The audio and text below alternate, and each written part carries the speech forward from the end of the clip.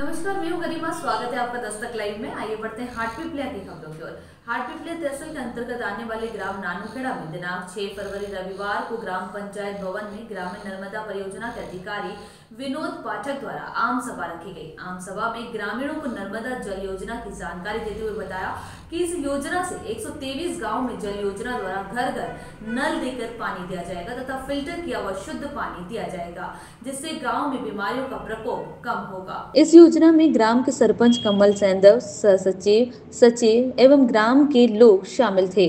ग्रामीणों ने भी इस योजना के सारी जानकारी अधिकारियों से प्राप्त की। ग्रामीण नर्मदा परियोजना अधिकारी श्री पाठक ने बताया कि नर्मदा नल जल योजना चालू होने के बाद इसके रखरखाव की ज़िम्मेदारी ग्राम पंचायत के सुपुर्द की जाएगी। ग्राम पंचायत के माध्यम से एक समिति का गठन किया जाएगा। वही समिति इस योजना का कुशल संचालन करेगी। इस योजना का लाभ लेने के लिए ग्रामीणों को अंशदान देना व टैक्स देना है। इस योजना का टैक्स ग्राम पंचायत नहीं देगी। हाट पिपलिया से दौलत मंसूरी की रिपोर्ट। योजना है और इस योजना का मुख्य उद्देश्य क्या है? नेमावर ग्रामीण समूह जल प्रदाय योजना जो कि गाँव को पेयजल की व्यवस्था के लिए ये परियोजना चल रही है जिसमें पीने में शुद्ध और स्वच्छ जल मिल पाए। सर इस योजना में जो ग्रामीणों को कनेक्शन दिया जाएगा और आज आपने यहाँ सभा रखी इसका क्या उद्देश्य है?